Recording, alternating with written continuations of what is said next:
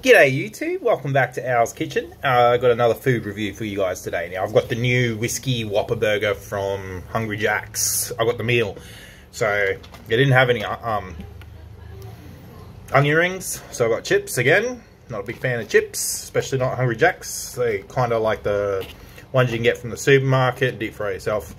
Uh, the seasoning is not too bad, but I will say that.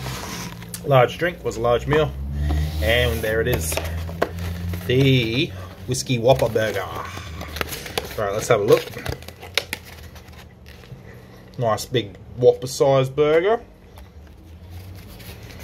Get a look in there. Whoop, the tomato's almost falling off. It's got tomato, it's got lettuce, it's got mayonnaise. Uh, got some barbecue sauce in here, I think. Or whiskey bourbon sauce or something. Not bad. Sweet. Um, very barbecuey sort of flavor. And angry onions. Mmm, angry onions on there as well. Can't see any bacon. There might be bacon on there. Hmm. Let's have a few chips first. Before we tuck on into the burger.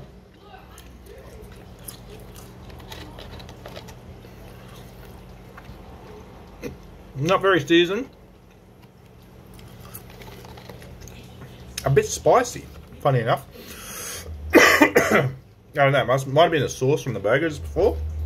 I love spicy stuff. Chips are a bit cold too.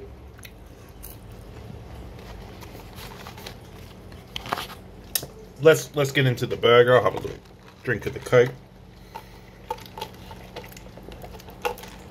Alright. I've had a little taste of the angry onion, the sauce. Check that out. Now, I think it's just a single. It's not a double. Let's go for a bite.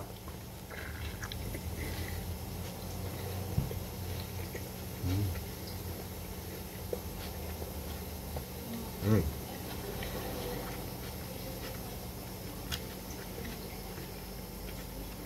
A lot of flavors there. I did get the taste of the angry onion. Definitely the sauce. I'm a big fan of barbecue sauce.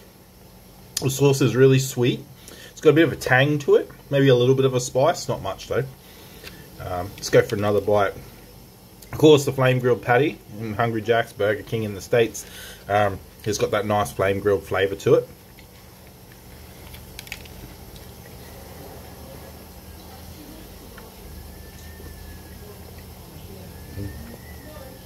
Mm.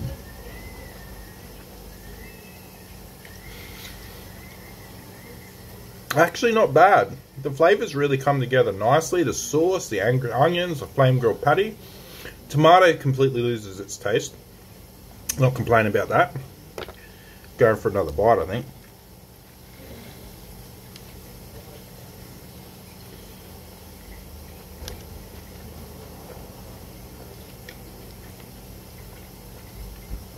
Hmm. You can't taste the cheese at all on there. There is cheese.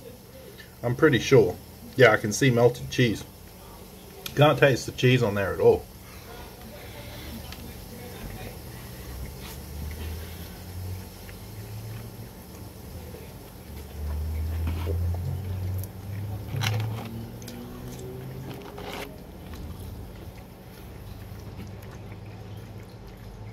I think I'll go in for one more bite and then I'll give it a score out of 10.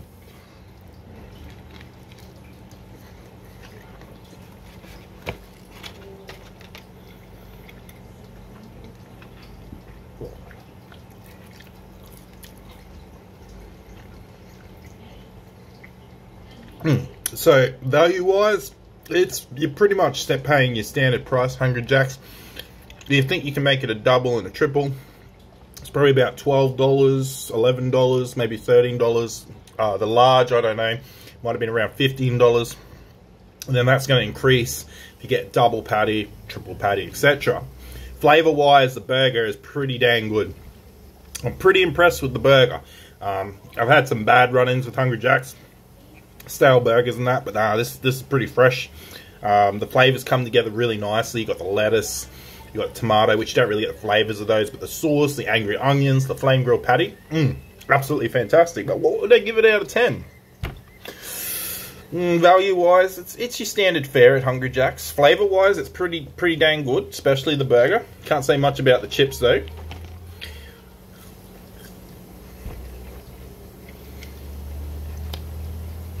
I'd probably give it. Oh, it's it's hard to say. Eight point two out of ten, and I mean that's mainly hanging on the burger there because the burger tastes pretty dang good.